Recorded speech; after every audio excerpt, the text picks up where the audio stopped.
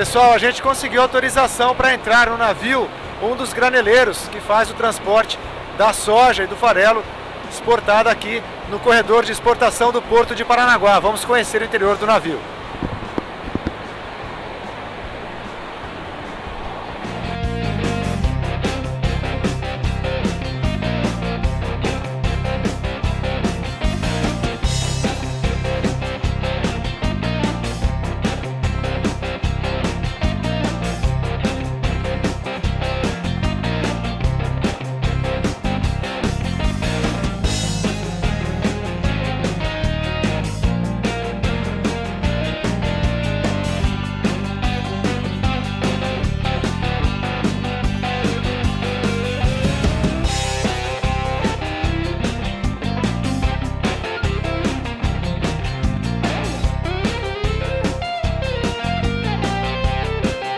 Nós estamos no interior de um navio aqui do Porto de Paranaguá, um navio de 229 metros de comprimento que está embarcando 64.100 toneladas de soja e farelo.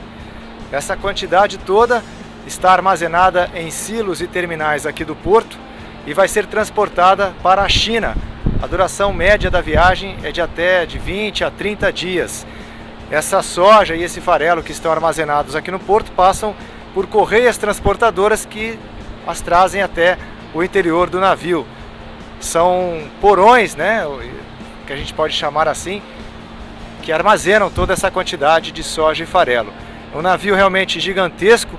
Nós estamos no último andar desse navio e é impressionante, né, a estrutura que eles montam para poder fazer toda todo esse transporte. Uma logística realmente que chama a atenção e que só é possível também por conta da estrutura né, permitida pelo Porto de Paranaguá.